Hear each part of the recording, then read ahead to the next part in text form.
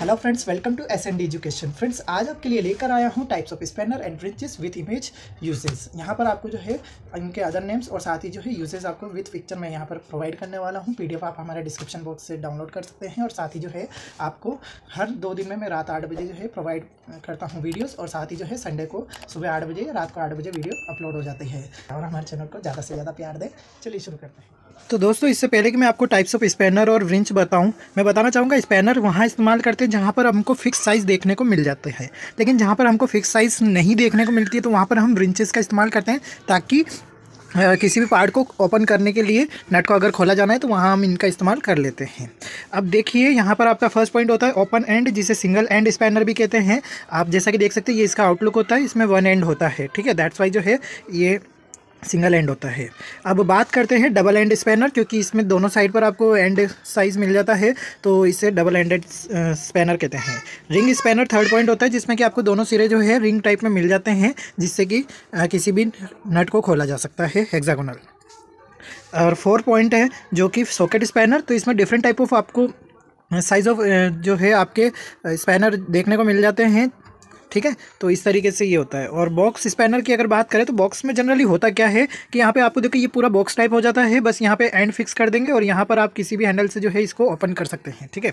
और इसी के साथ हमारा सिक्स पॉइंट है, जो कि कॉम्बिनेशन स्पैनर होता है। आप देख सकते हैं, ये वन एंड होता है ओपन और वन एंड जो होगा आपका रिंग तो इसलिए इसको कॉम्बिनेशन स्पैनर भी कहते हैं। हुक स्पैनर का मतलब ये होता है कि किसी भी अगर मान लीजिए नट है और उसमें होल है तो इस तरीके से फिक्स करेंगे। यहाँ पर ये एडजस्ट हो जाता है, इसलिए इसको हुक स्पैनर कहते हैं। अब बात करते हैं आपके एडजस्टेबल स्पैनर जो होते हैं। देखिए, यहाँ पर आपको जो है, ये कंट्रोल करने के लिए रिंग दिया रहता है कंट्रोलर जिससे कि क्या होता है, जैसे आप घुमाएँगे मूव करेंगे तो ये आगे पीछे हो जाता है। और इसी के साथ नाइन्थ पॉइंट होता है टी सॉकेट स्पैनर जिससे कि आप देखिए साइज़ में ये जो है, कुछ शेप में टी जैसा दिखता है, इसमें सॉकेट बना रहता है, ऊपर से आप पकड़ के ओपन कर सकते हैं। अब जो कि आपके टेंथ पॉइंट होता है मैग्नेटो स्पैनर तो देखिए आपको एक ही साथ जो है, आपको कई सारे जो है, आपको स्पैनर डिफरेंट साइजेस में देखने को मिल जाते हैं, इसलिए और इसको जो है मैग्नेटो स्पैनर कहते हैं। एलन की जो आपको पता ही है, जैसे कोई ग्रू होता है अंडरग्राउंड होता है, उसमें सिर्फ़ होल रहता है तो वहाँ आप इस एलन की को जो है डिफरेंट साइजेज में अवेलेबल होते हैं मार्केट में तो उससे जो है आप ओपन करके बस इसको फिक्स करेंगे और देन इसके बाद में इस पार्ट को घुमा देंगे। ट्वेल्थ जो पॉइंट होता है, वो होता है पिन फेस एडजस्टेबल स्पैनर तो देखिए, दोनों साइज़ पे जो है शेप दोनों तरफ़ से जो है आप ये फिक्स कर देंगे पिन को और देन इसके बाद में ओपन कर सकते हैं। अब देखिए मैं अगला जो नेक्स्ट पॉइंट हो गया हमारा कि स्टैंडर्ड टाइप्स ऑफ़ रिंच पहले हमने स्टैंडर्ड टाइप्स ऑफ़ स्पैनर की बात करी थी। तो देखिए यहाँ पे आपको पाइप रिंच देखने को मिल जाता है। ये कंट्रोलर होता है, ये ओपन होता जाएगा और ये आगे पीछे मूव कर सकता है। जो कि हमारा फोर्टीन पॉइंट है चेन स्पेनर तो आप ऐसा कि जैसे देख सकते हैं, इसमें आपके चेन लगी रहती है चेन को फिक्स कर दिया जाएगा, यहाँ पे पिन लगी रहती है, और जहाँ पर भी होगा, बस उस हिसाब से ओपन कर दिया जाता है। सॉकेट रिंच की बात करेंगे तो सॉकेट में आप देख सकते हैं, ये आपको डिफरेंट टाइप ऑफ़ स्पेनर्स के जो सॉकेट होते हैं, वो यहाँ पर देखने को मिलते हैं, बस इनको फिक्स करेंगे, और इस पार्ट को रखने के बाद में जो है, आप इसको बार बार जो है ओपन कर सकते हैं एडजस्ट कर सकते हैं। अब बात करते हैं टॉर्क रिंच की बात कर रहे हैं तो देखिए यहाँ पर आपको ये जो है स्पैनर ऐसा कुछ देखने का आउटलुक इसका देखने को मिल जाता है। तो इसमें जो है आपको देखो, यहाँ पर एक आपको रिंग दे दिया गया है, यहाँ से आप सॉकेट फिक्स कर सकते हैं और देन इसके बाद में ओपन करते जा सकते हैं। इसके बाद में रैचेट स्पैनर व्रिंच जो होते हैं, वो कुछ इस तरीके देखिए, यहाँ पे आपको ओपन एंड दे दिया, यहाँ पे क्लोज एंड है, लेकिन यहाँ पे रैचेट टाइप में ओपन कर सकते हैं, इस तरीके से, इस मूवमेंट में। अब 18 पॉइंट होता है ऑयल फ़िल्टर व्रिंच तो आप जैसा कि यहाँ पर देख सकते हैं, यहाँ पर एक बैंड आपको दे रखा है, बस इसको फिक्स कर दिया जाएगा देन इसके बाद में जो है ओपन कर लिया जाता है इससे। कॉम्बिनेशन व्रिंच की बात करें तो देखिए, ये वही वही पॉइंट हो गया। ठीक है? और एडजस्टेबल व्रिंच करें तो ये भी वही हो गया, ठीक है? तो इसे स्पैनर भी कह सकते हैं व्रिंच भी कह सकते हैं। इम्पैक्ट व्रिंच जिसे कि एयर व्रिंच और एयर गन भी कहते हैं। तो आप जैसे कि यहाँ पर एग्जांपल देख सकते हैं कि यहाँ जैसे कि आपको जैसे नट लगे रहते हैं और अगर वो जाम हो गया है रस्टिंग लगी हुई है तो वहाँ पर हम आप जो है इस इम्पैक्ट व्रेंच का इस्तेमाल करते हैं, इसमें कंप्रेस एयर का इस्तेमाल करते हैं, जिससे जो है काफ़ी हाई इम्पैक्ट लगता है और जिससे कि नट को खोला जा सकता है। और ये मोस्टली जो है लोकोमोटिव कार जो होते हैं, उनमें इस्तेमाल करते हैं। क्रो फुट व्रिंच जो होता है, जैसा कि आप देख सकते हैं, यहाँ पर एक नट को अगर ओपन करना है तो बस सॉकेट को फिक्स कर दिया, ये क्रो होता है इस तरीके से, और ऊपर से जो है हैंडल फिक्स कर दिया जाता है, और ओपन कर लिया जाता है इस तरीके से। अब स्पेशल टाइप्स ऑफ़ व्रिंचेस क्या होते हैं तो आप देख सकते हैं पेडल व्रिंच जो कि पेडल व्रिंच क्या होते हैं साइकिल के जो पेडल होते हैं उनको कर, कसने के लिए जो है आपको इस तरीके का ये व्रिंच दे दे दिया जाता है जिससे कि पेडल को कसा जा सकता है इसके। अब मंकी व्रिंच जो होता है एडजस्ट इसे जो है एडजस्टेबल स्पैनर या फिर स्क्रू स्पैनर भी कहते हैं। तो जैसा कि हम देखते ही हैं पाइपिंग में जैसे कि अगर मान लीजिए नल को खोलना है या फिर आ, कोई भी पार्ट को खोलना है, ठीक है? तो वहाँ पर हम जो है इस मंकी व्रिंच या फिर एडजस्टेबल स्पैनर या स्क्रू स्पैनर भी कहते हैं, ठीक है? तो ये जनरली जो है आपको कई तरीके के अवेलेबल होते हैं। प्लायर्स विंच जो होते हैं तो आप देख सकते हैं ये कुछ प्लायर टाइप का होता है, इसलिए इसको प्लायर विंच कहते हैं और ये जनरली जो है इस तरीके से सॉकेट इसमें कटा रहता है। तो फ्रेंड्स मैं आपको बताना चाहूँगा, मैंने टाइप्स ऑफ़ प्लायर का एक वीडियो बनाया था, उसका लिंक जो है मैं आई बटन में दे दूँगा, वहाँ से आप जो है टाइप्स ऑफ़ प्लायर देख सकते हैं स्टैंडर्ड टाइप्स ऑफ़ प्लायर और साथ ही जो है स्पेशल टाइप्स ऑफ़ प्लायर अब स्ट्रेप व्रिंच की अगर बात करें तो आप देख सकते हैं यहाँ पर वही स्ट्रिप लगी हुई है। ये ऊपर जो आपने एग्ज़ाम्पल देखा था, उसी का एक रूप होता है, ठीक है? तो यहाँ पर बस ये बेल्ट लगा दिया जाता है देन इसके बाद में कस दिया जाएगा। हाँ अगर आपको इसका पीडीएफ चाहिए तो आपको लिंक डिस्क्रिप्शन में मिल जाएगा, वहाँ से आप जो है डाउनलोड कर सकते हैं। प्लम्बर व्रिंच जो होता है, आप देख ही सकते हैं, ये भी एक प्लम्बर व्रिंच होता है और पाइपलाइन के लिए काम में लिया जाता है पार्ट्स को ओपन करने के लिए।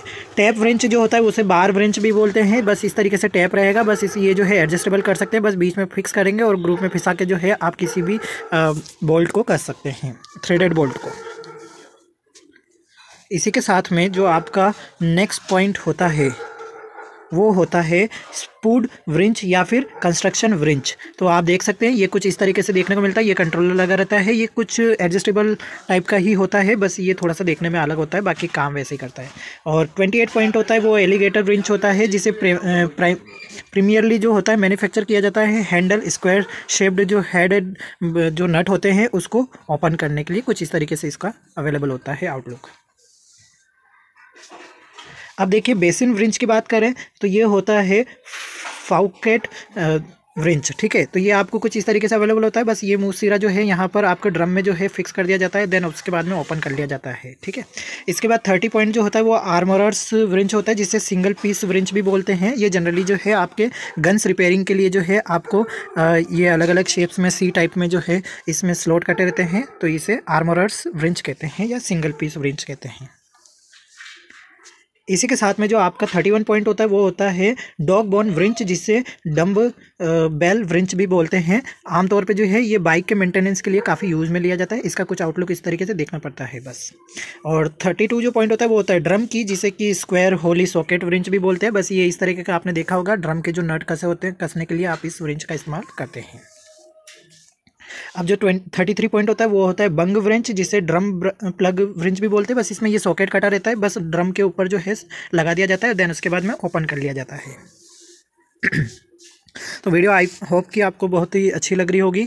और थर्टी फोर पॉइंट जो होता है, वो होता है फेन क्लच व्रिंच जिसे फ्लैट क्लच व्रिंचेस भी बोलते हैं। They are specially design to remove the fan clutch on car तो कार के जो फेन्स होते हैं, उनके क्लच को निकालने के लिए जो है, ये यू शेप में इस तरीके से होता है, जहाँ कम स्पेस होता है, वहाँ पर आप इस फ़ैन क्लच व्रिंच का इस्तेमाल करते हैं, जिसे फ्लेट क्लच व्रिंच भी बोलते हैं, क्योंकि फ्लेट होता है। थर्टी फाइव पॉइंट जो होता है, वो होता है हैमर व्रिंच जिसे स्ट्राइकिंग व्रिंच भी बोलते हैं या फिर स्लेजिंग व्रिंच भी बोलते हैं। आमतौर पर क्या होता है, इसको फिक्स कर दिया जाता है देन उसके बाद में जो है हैमर से मारा जाता है, जिससे कि नट खुल जाए। थर्टी सिक्स पॉइंट होता है टॉक्स की, जिसे कि स्टार हेडेड की भी बोलते हैं। तो आमतौर पे आप देख सकते हैं, जैसे कि यहाँ एक ग्रूव कटा रहता है, ये हेक्सागोनल टाइप का होता है, लेकिन जिसमें स्टार तरीके का जो ग्रूव कटा रहता है तो उसे जो है हम टॉर्क्स की कहते हैं या फिर स्टार हेडेड की बोलते हैं। और इसके लिए जो है आप इस वाले टूल का इस्तेमाल करते हैं, ठीक है? तो ये ग्रूव होता है और इसके लिए हम इस टूल का इस्तेमाल करते हैं। थर्टी सेवन पॉइंट होता है, वो होता है कॉन व्रेंच जिसे कि आप देख सकते हैं साइकिल के जो पहिया होता है, वहाँ पर जो आप देख सकते हैं इस व्रेंच का इस्तेमाल करते हैं जिससे कि इसे कसा जा सके, ठीक है? और इसी के साथ में थर्टी एट पॉइंट होता है गार्बेज डिस्पोजल व्रिंच जिसे कि आप देख सकते हैं, ये कुछ इस तरीके का होता है, बस इसको सिंक के अंदर डाला जाता है और फिर उसके बाद में रिपेयरिंग की जाती है। टेंशन व्रिंच होता है कुछ इस तरीके का, जैसे कि आप देख सकते हैं लॉक के अंदर, जैसे आपने कभी देखा होगा, जब भी टेंशन जनरेट की जाती है तो एक पिन जो है वो फिक्स रख दी जाती है और दूसरी घुमाई जाती है धीरे धीरे तो ये जो फिक्स वाली रहती है, उसे हम टेंशन व्रिंच कहते हैं। फोर्टी पॉइंट जो होता है, वो होता है स्पोक व्रिंच तो आप इस आपने देखा होगा, कई बार साइकिल की जो है, ये जो स्ट्रिप्स होती है, वो ढीली हो जाती है तो उनको कसने के लिए जो है, आप इस स्पोक व्रिंच का इस्तेमाल करते हैं। ये बेसिकली साइकिल के जो है, स्ट्रिप्स को कसने के लिए काम में लिए जाती है। और लास्ट हमारा एंडिंग 41 पॉइंट होता है, वो होता है स्पैनर व्रिंच तो ये कुछ इस तरीके से देखने को आपको मिल जाता है, ये भी वही होता है, बस एडजस्टेबल कर सकते हैं और इस तरीके से जो है ये काम में लिया जाता है।